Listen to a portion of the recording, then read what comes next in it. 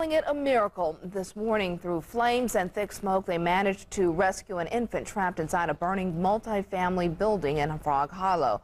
As Channel 3's Kristen Williams reports, this is a neighborhood that's had to fight too many flames. It wasn't the light of dawn that woke residents at 79 Putnam Heights. It was the fury of a two-alarm blaze. And for one mother, it couldn't have been worse. Her baby trapped in a smoky front bedroom, so close to the front door, yet so far from safety.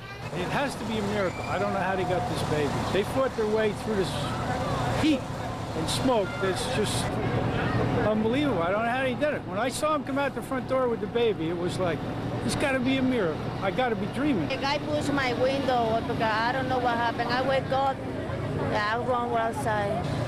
The four families who live here managed to wake each other up and get out of the building, leaving firefighters to battle more than just an average blaze. And upstairs is like coated with a shiny sheet of varnish from the heat and paint that's like, when it starts to burn, it flashes real fast. It'll burn from the back to the front, and you're just trapped.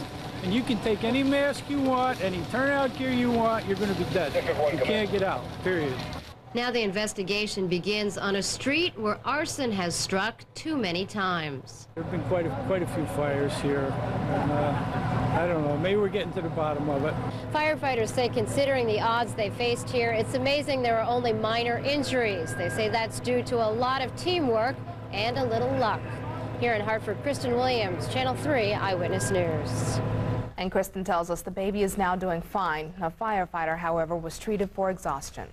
As Hartford firefighters were battling that blaze, another fire erupted this morning in an apartment building on Farmington Avenue. About 20 families were forced from their homes. The Red Cross is helping to find temporary shelter for those fire victims. No serious injuries were reported, but some residents had to be treated